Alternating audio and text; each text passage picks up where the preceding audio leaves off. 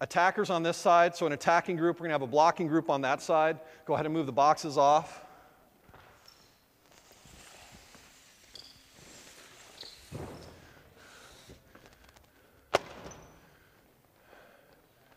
Okay, we don't have we don't have a scoreboard out here, so you're my official scorekeeper. You're just on your hands. You're going to keep points. We're going to play a five-point game, so right now it's 0-0. Uh, the way that this drill works, I can either toss a ball in. Uh, I, let's go ahead and make it live. So I'm going to put a libero in the left back. What I'm going to do is enter a ball to the offensive team. They're going to try and get the best ball possible to their setter because they want to have all options available. Uh, guys, we also want somebody attacking the bick out of the back row. So, setter, you can set to the pin behind you, the pin in front of you. You can set your middle, or you can set to the back row. Blockers, you are trying to get a stuff block, or a touch block, or force them into an error. So, this side earns a point with a stuff block, a good deflection block, or an error by the offensive team. The offensive team earns a point by attacking a good ball that would be a kill. All right, and I'm just going to enter a ball to the libero. Okay, and we're, we're working on timing. They haven't worked on the timing, so we're just a little bit off.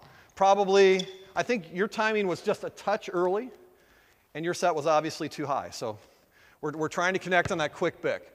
And I, I will say this not every team is going to have guys like we saw in the NCAA matches that can come in and bury that ball, but everybody can hit this route. And you should have players on your team that can come in and direct the ball back to the corner or direct the ball back to the other corner. And if, if middles are going with your middles and you set, set this bick on the right timing, that's still to either corner going to be a really good shot.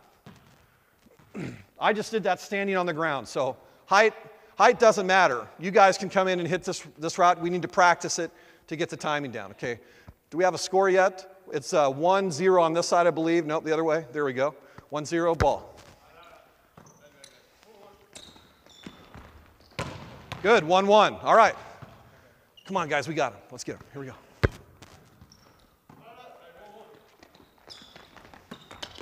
Okay, that would be a point for the defensive team. So 2 1 on this side. Here we go, ball.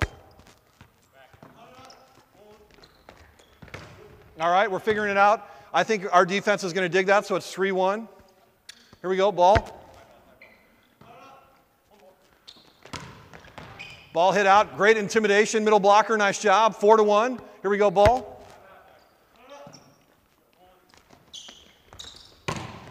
Four to two. We're going to play to five because that's all the fingers he's got. Here we go, ball.